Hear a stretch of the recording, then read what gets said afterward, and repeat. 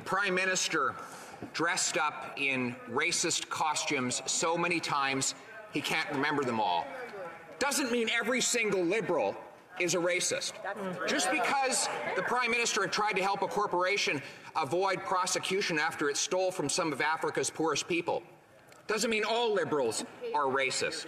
Just because about a half dozen Liberal MPs who are racial minorities have complained about his treatment of them does not mean that all Liberals are racist.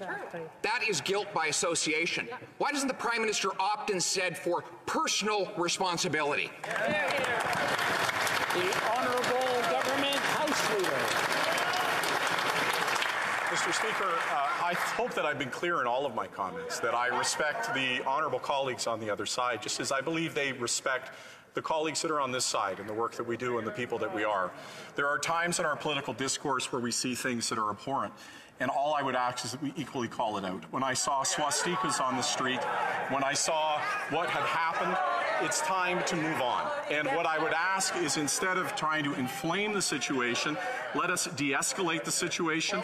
Let us work together to find a way to stop the lockdown that is happening of this city that, so that citizens can move forward with their lives and any legitimate grievances can be fairly heard. The Honourable Member for Carleton. Well, Mr. Speaker, I agree. We should always call out evil symbols and the individuals who are individually responsible for putting them up. I remember a January 18th, January 2018 event where the Prime Minister stared straight at a swastika and instead of condemning it, said, Thank you for coming, sir. We on this side condemn evil symbols whenever they are used. I do respect that member. I just wish his government would respect the thousands of people who are fighting for their livelihoods right now, who are trying to do the best to get this country back on track.